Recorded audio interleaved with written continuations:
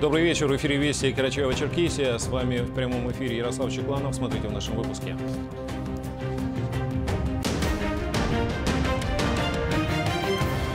В Жигуте идут ремонтные работы подъездных путей, ведущих к трем городским кладбищам. Средства выделены из республиканского бюджета. 13 лет в небытие. Житель Черкеска более 10 лет ищет своего сына. Отчаявшийся отец рассказал о своей беде вестям.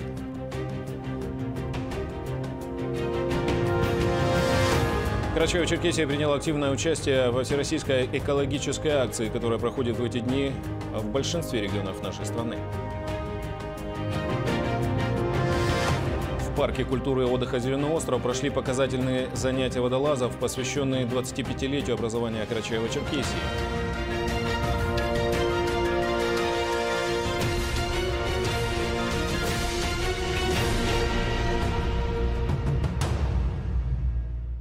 Накануне глава Карачаева-Черкесии Рашид Тимрезов встретился с руководителем Управления Федеральной службы судебных приставов Маратом Урусовым, который проинформировал руководителя региона об итогах работы службы за 8 месяцев текущего года. Главный судебный пристав республики сообщил, что по взысканию платежей в бюджеты всех уровней в 2017 году за текущий период перечислили 326 миллионов рублей, а за аналогичные 270 тысяч. По словам Марата Урусова, служба судебных приставов во всем по, во всем показателям деятельности занимает хорошие позиции среди региональных управлений. В Иджигуте начались ремонтные работы подъездных путей, ведущих к трем городским кладбищам. По обращению жителей города главой республики Рашидом Тимрезовым были даны поручения администрации Уджигуты решить проблему. Средства выделены из республиканского бюджета. Ахмат Халкечев подробнее. Необходимость ремонта подъездных путей к городским кладбищам стояла остро на протяжении последних полутора десятка лет, рассказывает заместитель мэра Уджигуты Шакман Суевинчев. В дни религиозных праздников, особенно зимой и в ненастную погоду, автотранспорту невозможно было разъехаться на разбитой и ухабистой грунтовой дороге. Проблема была действительно острая, действительно народ в этом нуждался. Почему? Потому что в каждой вере свои праздники религиозные. Ну, в году раз, два, три что православные, что мусульмане бывают на кладбище. Ремонтируются дороги, ведущие к трем кладбищам города. Два мусульманских в центральном и головном районах и одно православное в районе Диганас. Реконструкцию начали с христианского, чтобы в преддверии исламских праздников не создавать неудобства для посетителей мусульманских кладбищ. Сейчас здесь работы все уже завершены. Асфальтового покрытия на улицах не было со дня основания. Ширина нового дорожного полотна, поперечные продольные уклоны, откосы, водоотводы – все в строгом соответствии техническим параметрам дорог муниципального значения. Все э, жители города, а также приезжие, посещая это кладбище, всегда жаловались на эту дорогу, на неудобства сюда, подъездных путей. Вот. Ну, наконец-то мы дождались, сделали нам хорошую дорогу сюда, сделали отличную стоянку для автомобилей. Люди, которые вот сегодня проезжали, очень много проезжало на кладбище, все говорят спасибо. Подрядной организации предстоит проложить более 4 километра асфальтобетона. Помимо самих дорог, по проекту также запланировано благоустройство прилегающих к кладбищам территории и устройство автопарковочных зон. Кладбище находится, как видите, далеко от населенного пункта. Э, люди приезжают на транспорте. Опять-таки это неудобство создает аварийно опасные моменты при разъезде. Э, мы сейчас э, готовим площадки для стоянки автомобилей. Будет э, нормальная, очень большая площадка. Это порядка трех тысяч квадратных метров площадки будет здесь. Автостоянка? Автостоянки, да. Как поделился начальник строительного участка Магомед Найманов, подрядчику для выполнения всех работ отведено два месяца. Но судя по темпам, мы вполне рассчитываем сдать все объекты с опережением графика, подытоживает он. Ахмад Халкечев, Аслан Баташев, Вести Карачаева-Черкесия, Усть-Жугута. Разлука с родным человеком, надежда на встречу. Житель Черкеска Виктор Баранович вот уже 13 лет ищет своего сына и ждет его возвращения домой. Мужчина позвонил к нам в службу информации с просьбой о помощи, чтобы о его беде услышали люди и появилась надежда на то, что о его сыне Станиславе Барановиче появится хоть какая-то информация. Тему продолжит Александра Коваленко. На протяжении 13 лет Виктор Баранович живет одной мыслью, что его сын Станислав однажды постучится в дверь. Жизнерадостный, трудолюбивый, отзывчивый. Он был мальчишкой с открытой душой. Вот таким остался в моей памяти Стас, рассказывает съемочной группе «Убитый горем отец», рассматривая фотографии сына. Среди коллег он был уважаемым человеком. Семь лет Станислав проработал во вневедомственной охране Черкеска. Ему было чуть больше 30, когда семья переехала из Черкеска в Михайловку, Волгоградской области. На тот момент у Станислава уже была дочь, которую он воспитывал один. Стас был внимательным и заботливым отцом и всячески пытался заработать деньги, чтобы выплатить кредит, да еще и на жизнь хватало, рассказывает Виктор Илларионович. Уехав 24 ноября 2004 года очередной раз за товаром в Черкесск, Станислав обратно домой больше не вернулся. В этот день у него была на руках вся выручка за проданный товар. Все заботы о дочери Стаса легли на плечи его родителей. Перстяной я на базаре торговал. И после того, как продал все, он позвонил матери домой, что мам, я все продал, и я, наверное, поеду еще раз ну, в Черкесск, чтобы привезти еще и рассчитаться быстрее с банком. Вот. А потом мне перезвонил, я уже был на работе, он мне звонит, батя, ты будешь свободный, заедь на рынок и забери там у парня мол, раскладушку, зеркало, там, ну, сумку с это, все. Я, говорит, еще раз съезжу. Пропажа единственного сына повлияла на переезд семьи Баранович на родину в Карачаево-Черкесию. Через три года со своим горем они перебрались поближе к родственникам, продолжая активные поиски. Обращения о пропаже сына в различные инстанции результатов так и не дали. Поиски, исчисляемые годами, и сегодня безрезультатны. Свою боль в исчезновении сына мать унесла в могилу, а отец и сегодня продолжает искать Станислава.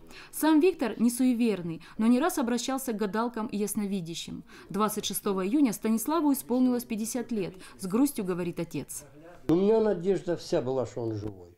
Мы куда только не ездили, по каким бабкам, там, по всяким этим, где мы только не были.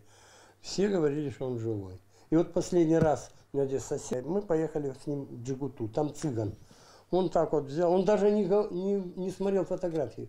Он зашел к нему, он говорит, достань фотографию. Цыган сказал, с внутреннего кармана достань, говорит, фотографию. Этот парень, говорит, живой, и он скоро объявится. 2 августа телефонный звонок растревожил душу Виктора Барановича. Соседка в доме, где он проживал со своей семьей, позвонила и рассказала, что на днях его сын Станислав приходил в бывший дом родителей в Черкеске, который они продали не так давно.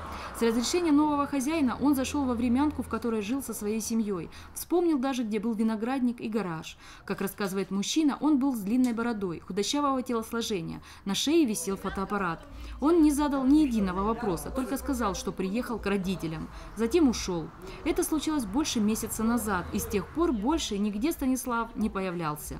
Виктор Илларионович сбился с ног, разыскивая своего сына, рассматривая видеозаписи, расспрашивая прохожих и соседей, диспетчеров на авто и ЖД вокзале, но поиски не увенчались успехом. Виктор Баранович просит о помощи всех жителей республики и не только, кто владеет какой-либо информацией о пропавшем сыне Станиславе. Звонить по номеру, который вы видите на своих экранах. 8 918 716 3193.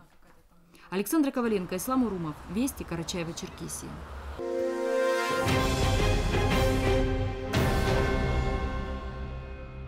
Продолжаем выпуск. Карачаево-Черкесия приняла активное участие во всероссийской экологической акции, которая проходит в эти дни в большинстве регионов нашей страны. Во всех городах и муниципальных районах нашей республики активисты высаживали молодые деревья, вырубали сухостой, косили траву вдоль автомобильных дорог, собирали мусор в зонах отдыха, ликвидировали несанкционированные свалки. Так, на территории, прилегающей к парку культуры и отдыха «Зеленый остров» за наведение чистоты, порядка взялись сотрудники министерства и организаций и предприятий Карачаева-Черкесии. Надо отметить, что масштабная акция по санитарной очистке и благоустройству муниципальных образований приобрела особое значение в год экологии в нашей стране. Решили присоединиться к акции субботника э, в составе правительства, в том числе вот наше министерство, работники нашего министерства вышли на улицы, чтобы поддержать чистоту. Мы хотим, чтобы наш город был чистый, чтобы наши дети, когда выходят на улицу, ходили по чистому городу. Э, и тем самым привлечь внимание в том числе и простых граждан, которые, э, выходя на улицу, лишний раз задумываются о том, чтобы не бросить где-нибудь бумажку и не оставить пакет. Э, вот. Мы хотим жить в чистом городе. Парке культуры и отдыха «Зеленый остров» прошли показательные занятия водолазов аварийно-спасательного формирования на водных объектах, посвященные 25-летию Карачаево-Черкесской республики.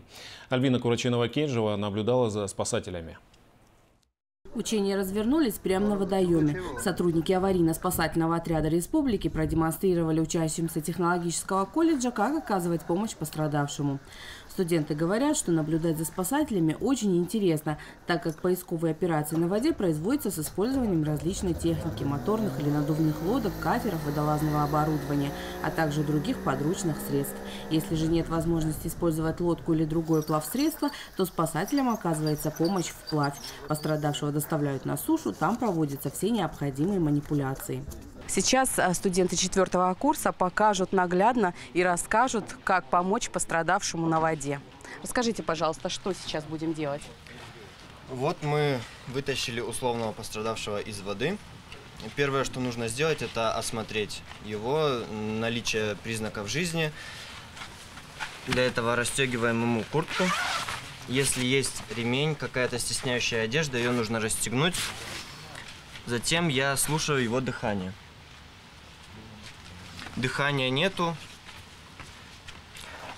пульс есть. Э, затем нужно э, приступить к реанимации. Для этого берем какую-нибудь салфетку, бинтик или кусок какой-то ткани, очищаем ротовую полость круговыми движениями. Потом берем еще один кусок ткани, кладем на рот, зажимаем нос и делаем два неполных вдоха.